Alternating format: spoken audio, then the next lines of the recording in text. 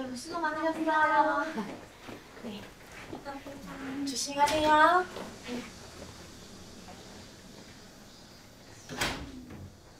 아우, 아, 너무 어깨가 아니, 아직도 어깨가 안 났나? 아, 아이,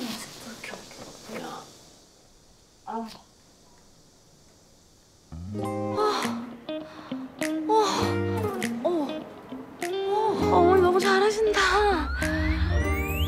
아, 아우 미친년 진짜.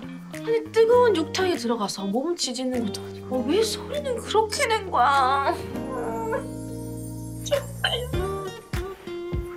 구미호, 정신 차려. 어차피 흑역사는 역사가 아니야.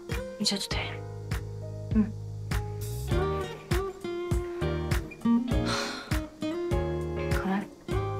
가만히 있으면 안 되지 내가? 얘가 집을 나가겠다는데?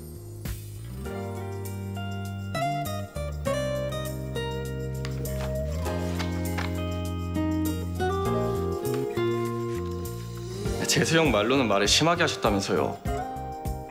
그날, 실수였어요.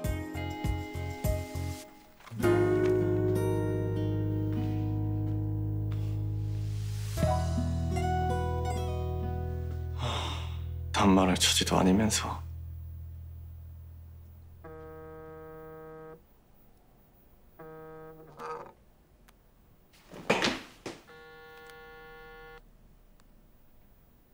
좋아한 거 아니었어요?